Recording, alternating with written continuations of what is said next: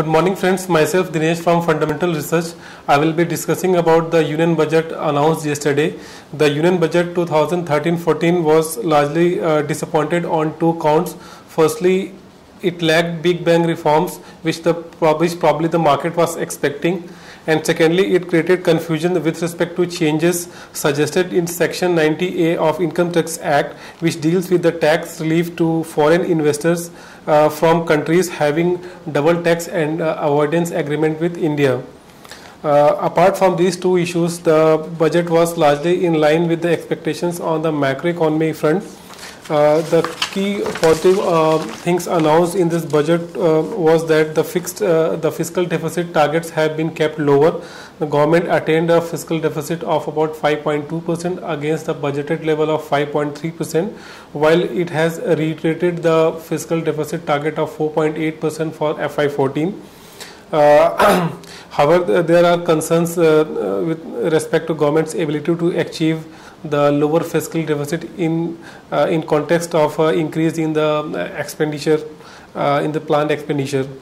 all the other other thing which came in the budget was that market borrowings were largely in in line with the expectation. It was slightly higher than uh, the uh, market expectation at the gross level, uh, but at the net the net borrowings were largely you know within the tolerable limits at about 4.84 trillion.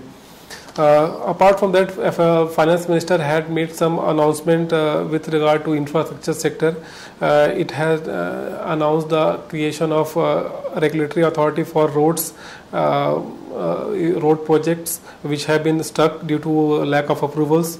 the prime, the finance minister also increased allocation towards towards the several schemes such as Pradhan Mantri Gram Sadak Yojana uh, it has allowed institutions to raise up to 50,000 crore via tax-free bonds and uh, it has also allowed additional depreciation of 15% on purchase of plant and machinery over 100 crore.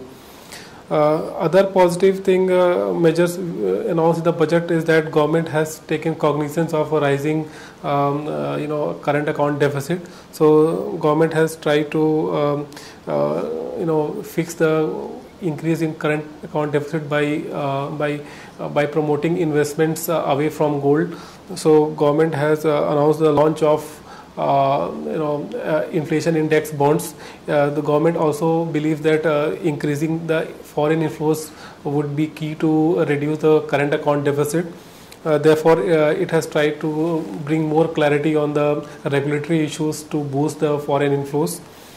Also, the other uh, positive point in our view is that government has uh, tried to uh, main, maintain the tax regime uh, stable, uh, though it, it has uh, you know increased surcharge on the higher income groups. the government's idea is also to improve the indirect taxes by providing amnesty scheme for the service service taxes. So uh, apart from that, uh, there were a few um, negative things also in the budget. Uh, the first two negative things I discussed in the earlier part. Uh, however, uh, the finance minister has promised to introduce the direct tax code bill by the end of current uh, session of the parliament, and is hopeful of finalizing the GST bill in the current year in this year itself.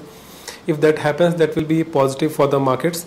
Therefore, the big picture is not so disappointing, though there is a sense of missed opportunity among certain sections, as the finance minister could have done more on economy front. Um, however, we believe the finance minister will keep all uh, keep the ball rolling with series of policy announcements outside the budget to tackle uh, serious issues like subsidies, SEB restructuring, uh, pushing investments uh, and projects, and removing uh, bottlenecks in certain segments of the infrastructure sector. Uh, consequently, we believe the equity market will get over the budget related hiccups. We maintain our constructive view on the market in view of the cyclical turn uh, expected in FY14 and further easing of monetary policy and the benign global environment. Looking at the sectoral impact of the budget, we believe sectors like media, retail, oil, gas, uh, road construction and power are likely to benefit from the announcements in the budget. However, the budget is neutral for banking sector and negative for sectors like cement and automobiles. Thank you.